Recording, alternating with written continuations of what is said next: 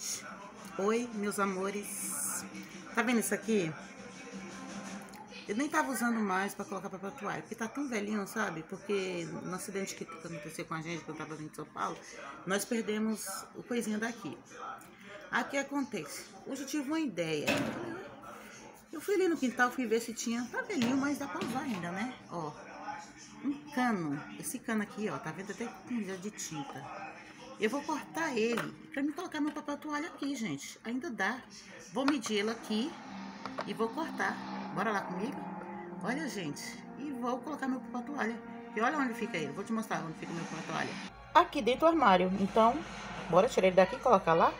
Eu creio que essa ideia vai dar certo. Peguei uma faca de serra e vou cortar. Vou e vou serrar. Ó, gente, tá vendo? Tô serrando e tá dando, viu? Tá dando certo. Olha, gente. Gente, medi lá. Agora eu vou dar uma lavadinha, né?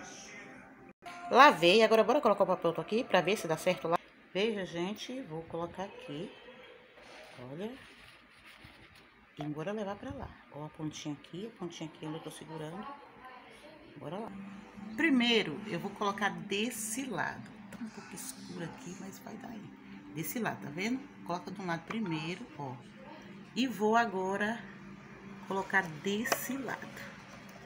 Gente, não é que vai dar certo? Gente, olha como deu certo, gente.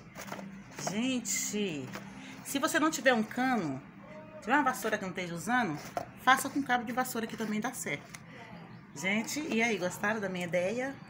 Eita, aqui fica meu machucadorzinho, né? E é isso, né? Às vezes você tá sem dinheiro para comprar, vamos improvisar. Se vocês gostaram da dica, comente aí. Beijo, meus amores.